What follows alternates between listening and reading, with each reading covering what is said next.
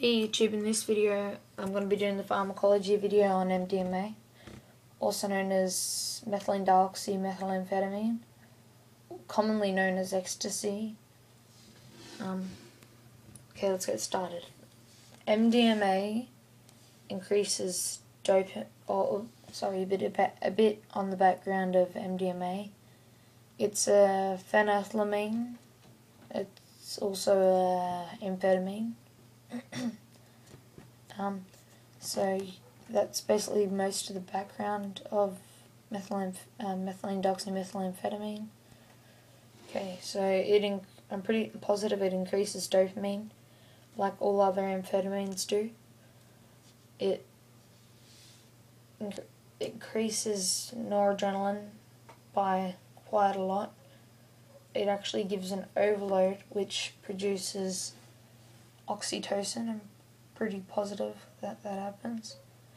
Then it also increases serotonin, which is the was what makes up all the behavioral changes.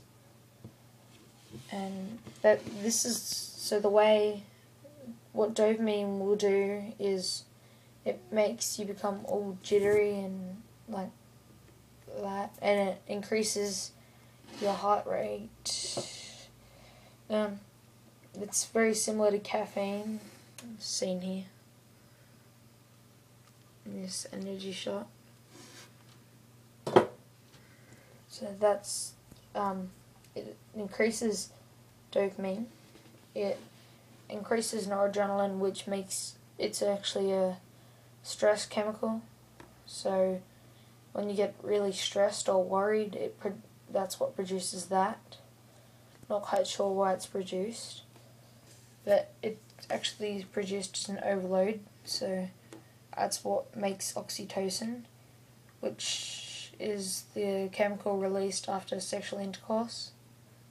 And also, um, that's what gives you the, that's what makes it so called the love chemical. And yeah, it has behavioral changes in serotonin. So please, um, well, thanks for watching this video.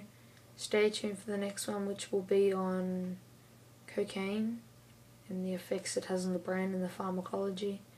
So please subscribe, rate, and comment.